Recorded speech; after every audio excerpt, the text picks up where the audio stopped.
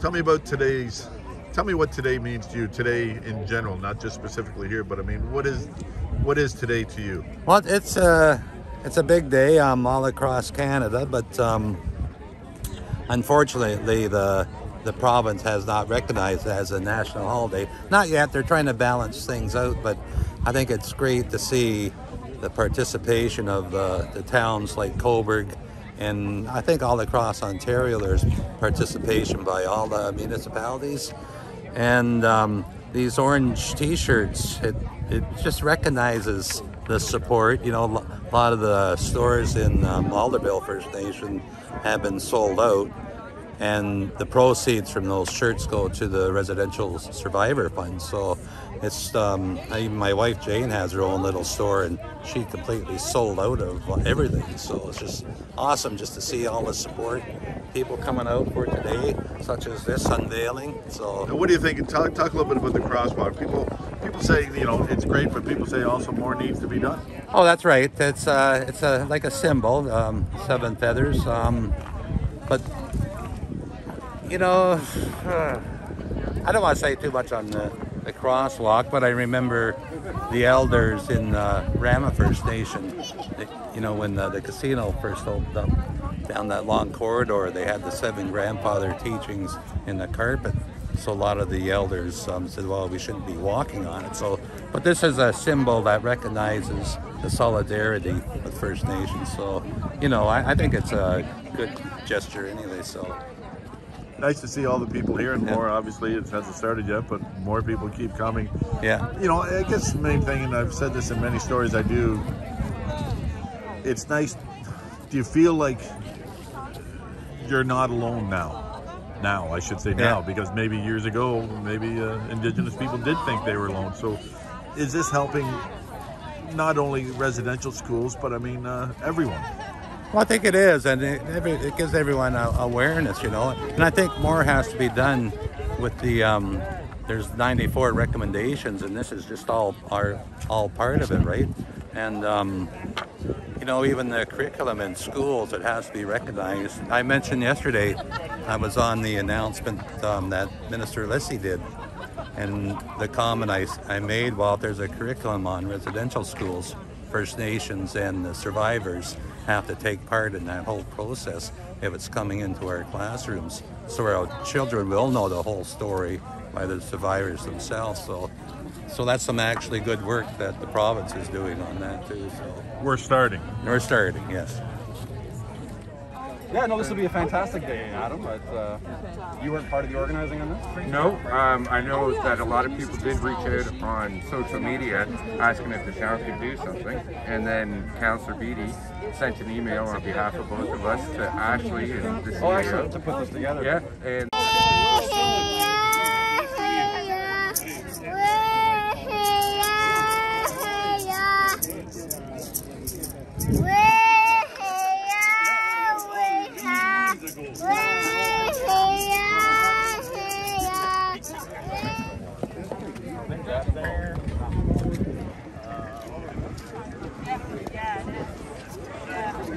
Just want to put yours there, John.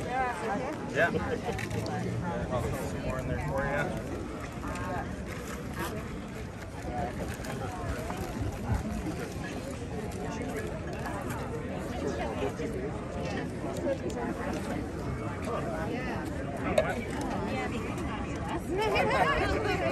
Dave, what do you uh, what do you see here? Well, I see uh, something I've never seen before, that's for sure. Uh, I'm seeing a lot of commitment to uh, uh, a new uh, sort of chapter in our history. And I'm really encouraged by the way the municipalities are stepping up and really showing their, um, their solidarity with us. I'm really, really encouraged by that. It's a start. Yeah, it is a start.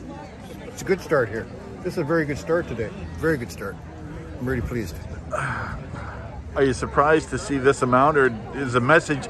Is the I think the message is, but you tell me, is the message getting across about uh, the suffering that took place? the, the message to me today, the message is, has got out loud and clear. The message has got out loud and clear, and um, I'm really uh, encouraged to see that. What about what the town's doing here today? Obviously, we're here for the Indigenous Crosswalk unveiling. Tell me a little bit about that. Uh, well, it's you know uh, I mean uh, I got to commend the, uh, the, mayor and council here for, taking the step that they've taken and uh, and, uh, and and just by the the public show here is really encouraging.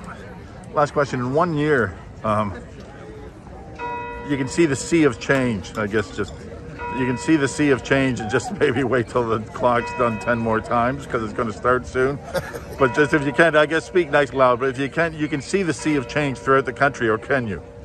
Um, I can. I, uh, um, I see it, uh, I think I'm going to see it at the local municipal level. I just came from Brighton and I was uh, involved in a, a smaller event there and then I'm heading up to uh, speak to the uh, employees of Hamilton Township. So at the municipal level, I'm seeing really encouraging movement, and I, I, I feel really good about that. Provincial? Provincial? Well, they got a ways to go. That's all I'll say. I did meet the MPP, uh, David Piccini, and I, we get along well, but uh, I think that uh, the province has a long way to go, no doubt. Mr. Beaver, Rick Beaver, perfect.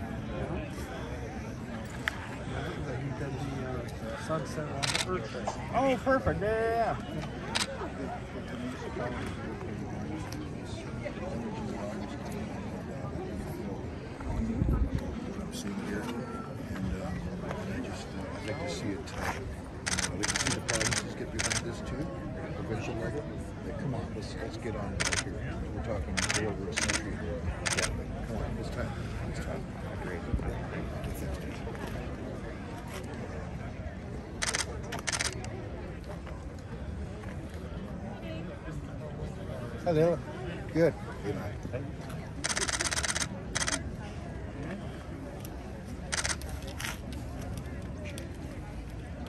Come on.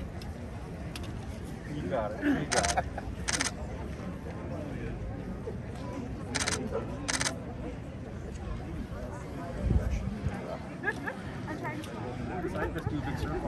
Would ask as a mark of respect for when our elders are speaking that please, everyone who can do so, please move your phones to silent so that we do not interrupt the important words they have to share with us today. In partnership with Alderville First Nation, it is my distinct honor to welcome each and every one of you to today's official unveiling of our Indigenous and reconciliation. We acknowledge that these treaties have not always been honored and often they've been broken. We also acknowledge that we are all a part of building good relations together. We are all treaty people. Please let us move together forward with kindness and respect.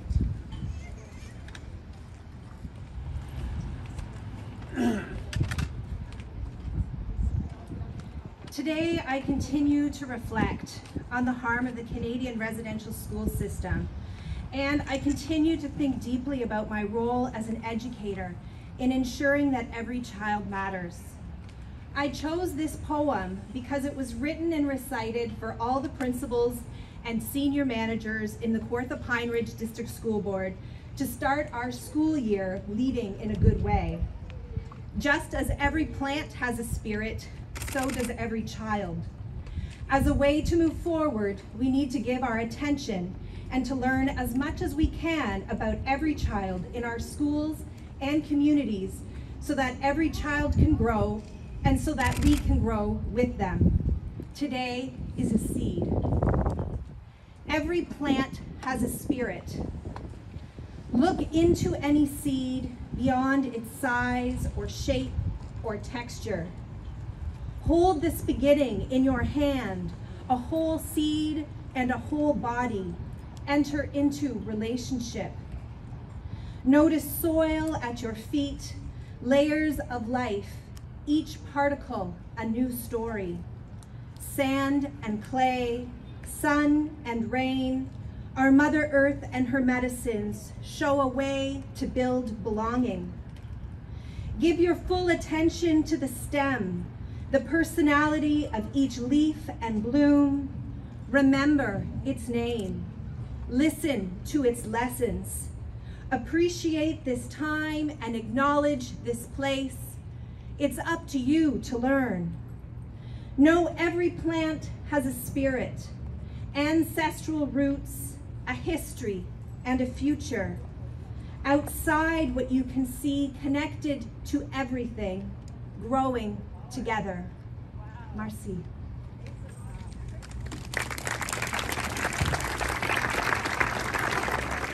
Time, wisdom, advice, and for your support. And with that, I will ask Mayor John Henderson and Chief Dave Mowat to please join us at the podium.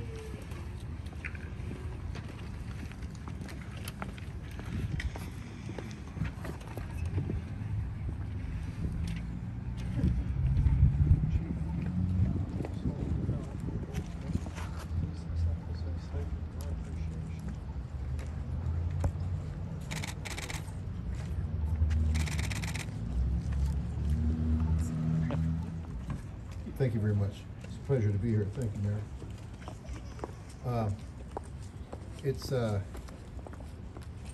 very uh, heartwarming and uh, also uh, actually quite uh, taken back by the people I'm seeing here today. This is amazing turnout, and I commend Cobourg and uh, the mayor and council for um, engaging in this uh, important day and engaging in this important history around the residential school.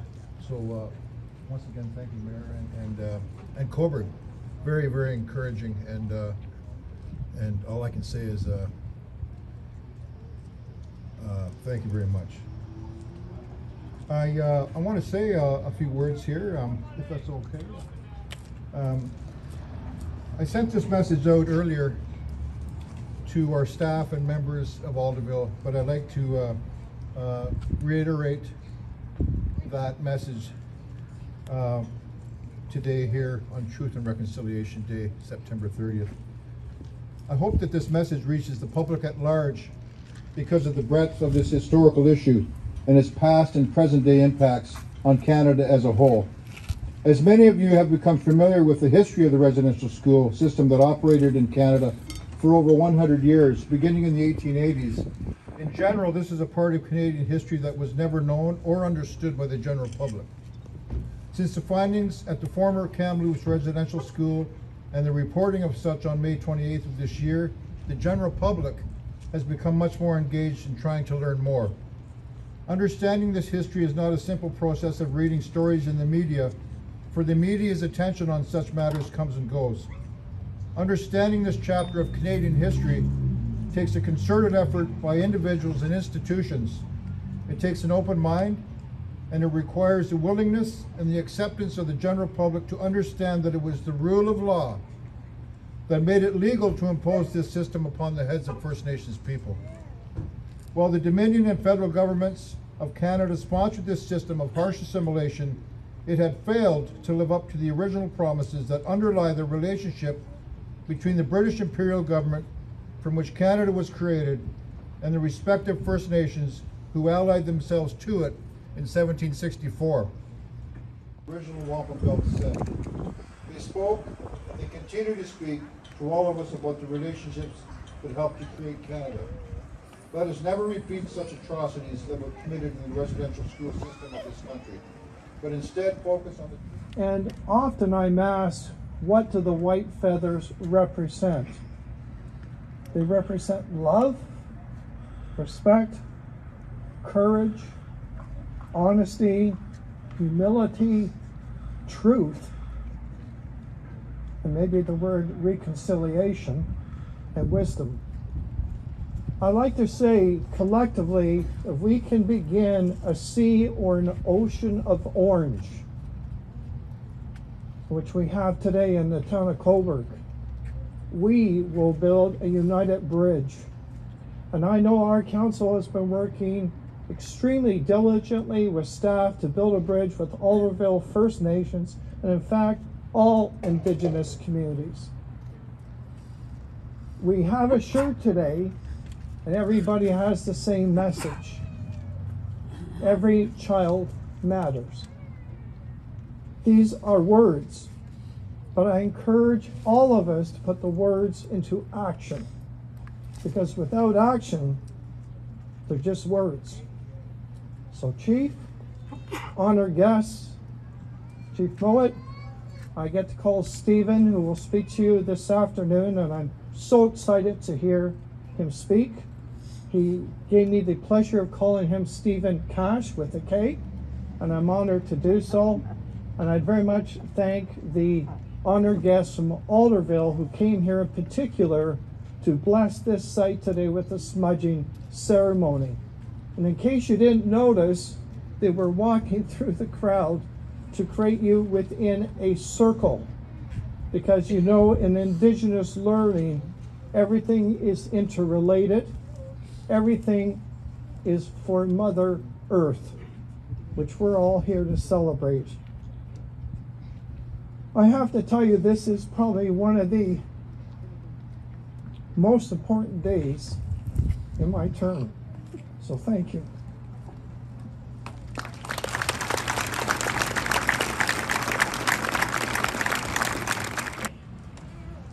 Thank you to the town of Cobourg, Elder Pash, and Chief Mowat. Today is National Day for Truth and Reconciliation, also Orange Shirt Day, a day we gather to honor, reflect, and remember residential school survivors, their families, and children who were taken tragically from their families. As we work together to support meaningful reconciliation and strengthen our relationships with Indigenous peoples, we must continue to educate ourselves on our own nation's history. I think today, as I look around at a sea of orange shirts, I think to the story inspired by Phyllis Webstad, the story of the orange shirt, a residential school survivor who at the age of six was gifted an orange shirt by her grandmother. That shirt was taken away from her in the residential school system and never seen again. The tragic discovery of the remains of children at the former residential schools are horrific and collectively serve to remind us all that we still have much, much more work to do. This is a painful scar on our nation's history, a scar that will never go away, but we can learn from the pain endured we can learn from Indigenous friends, from Indigenous peoples, and our partners. It's long past time for all Ontarians, all Canadians, to acknowledge this dark stain on our nation's history and to take action. And as I think to the seven teachings mentioned today, I'd especially like to thank you, Chief Mowat. I don't know if you remember when we first met in Newcastle when you spoke about your great grandfather, Fred Simpson, I believe, who stands today still an enduring legacy as the greatest ever Olympic athlete, athlete, Indigenous athlete, and a marathon runner. So today, as all of us reflect on what we can do individually, on what we can do collectively, let us unite around the journey forward to create a better future. It won't be done in one day, it won't be done in one week. But if we use gatherings like today, and what an incredible gathering this is, to spread awareness and to open our minds, as Chief Mowat said, to collectively pledge that together we will take this journey each and every day. Thank you for having me today. It's an honor to be here on behalf of the Ontario Legislature and the Government of Ontario. Thank you. Elder Pash, I want to thank you for your generosity, for your wisdom, for your willingness to teach us today, for your willingness to allow us to learn how to do better, and for joining us in the spirit of reconciliation.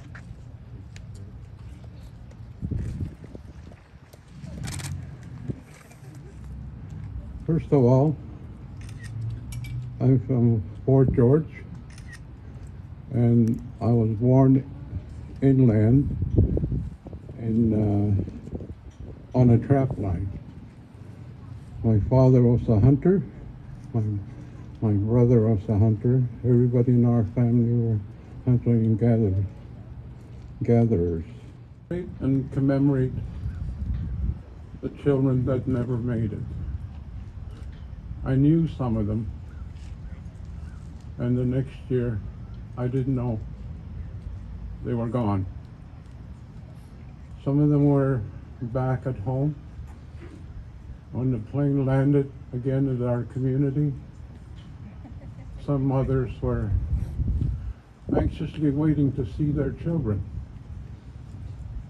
that never got off that plane. They they didn't uh, arrive because they were either not here with us anymore or they were in hospital or something. No, but most of them that didn't make it were not with us anymore. How do you reconcile truth to us is the quality of being true. And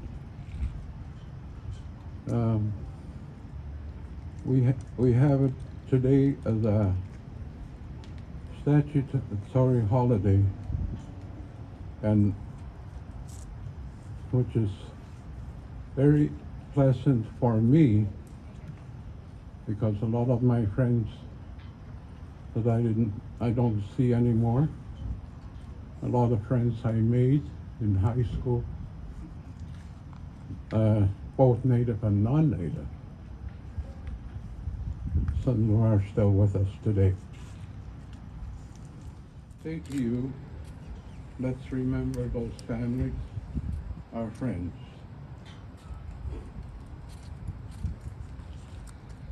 Imagine, imagine uh, a mother waiting for their child to get off the plane,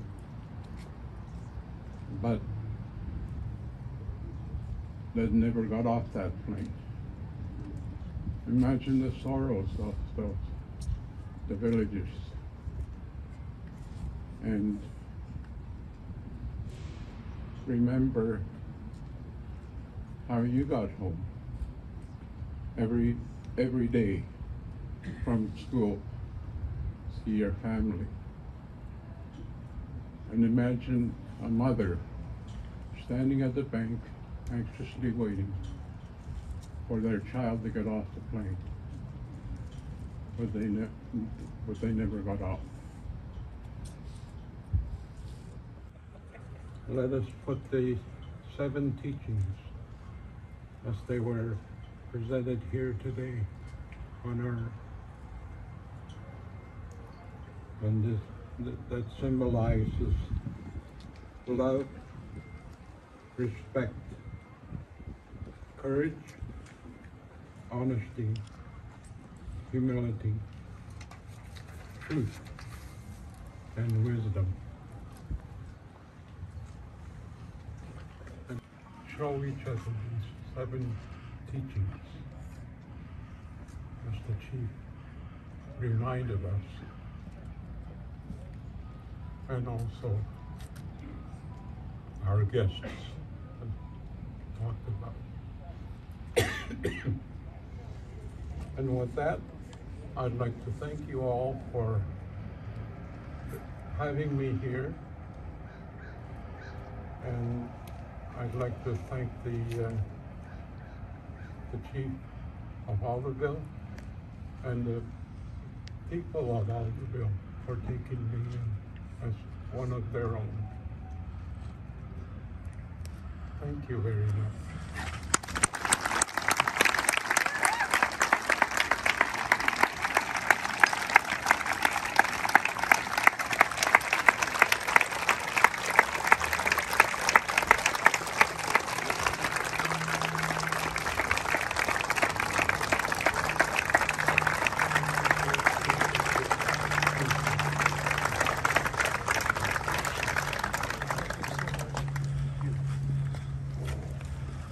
I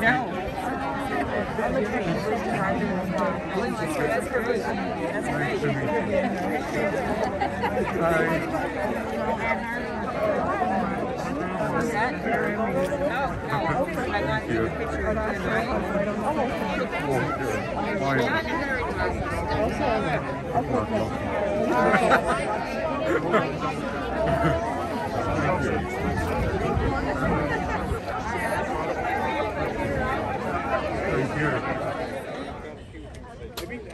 sí, no.